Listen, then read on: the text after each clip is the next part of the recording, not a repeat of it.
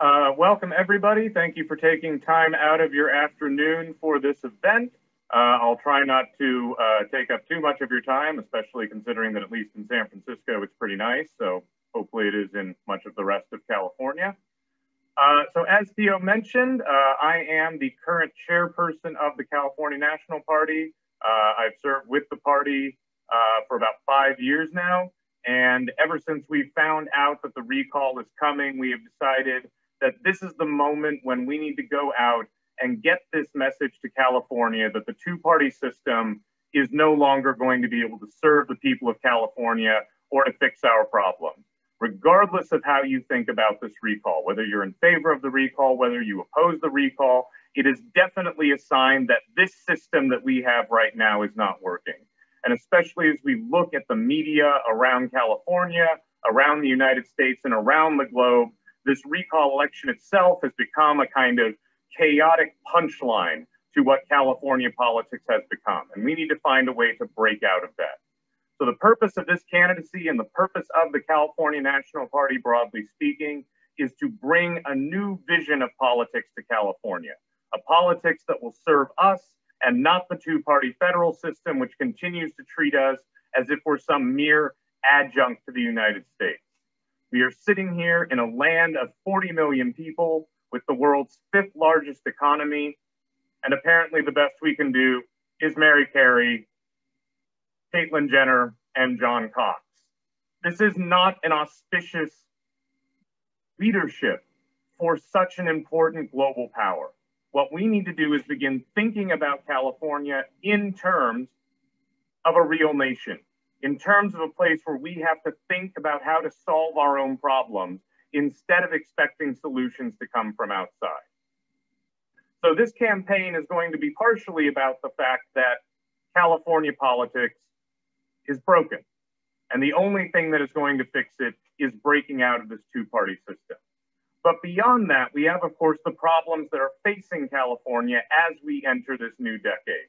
And especially in this last pandemic year, as we've seen, how little we can rely on even the California government to necessarily care for its people in times of hardship.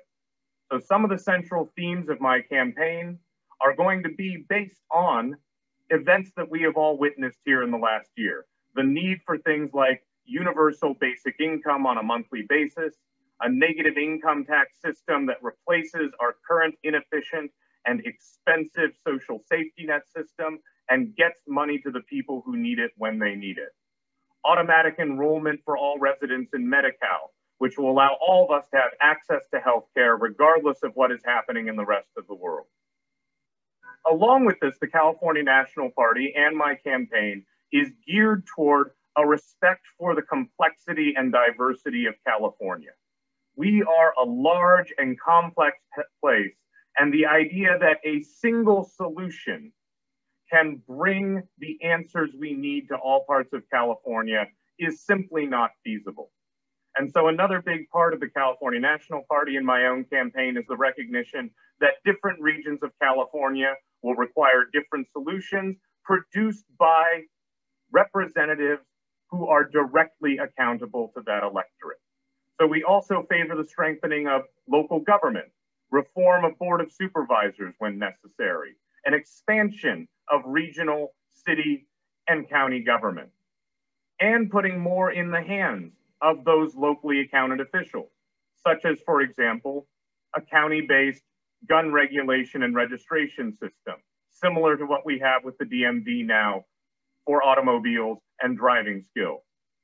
Reduction of the California wide gas tax, which is inherently regressive and in fact causes an undue burden on many Californians who are, in fact, on the lowest economic strata.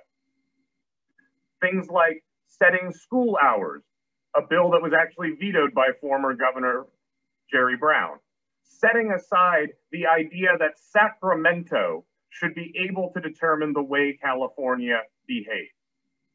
And so this is part of this necessary rebirth of California politics politics that will actually take California seriously, not simply as a staging ground for running for further federal office, not simply as a PR campaign for your Instagram followers, but seeing that California is in trouble and nobody is going to fix California except for us.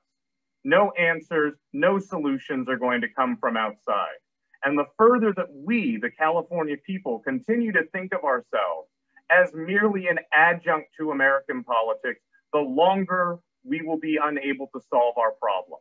The longer we won't be focusing on what's happening in our own backyard while we stamp our feet and scream about battles taking place 3,000 miles away.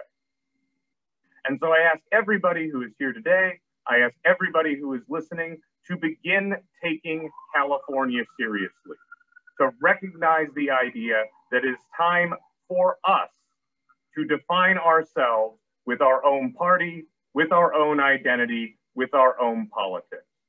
And so I ask you and everyone else in California to join me and the California National Party in helping to build a better California together.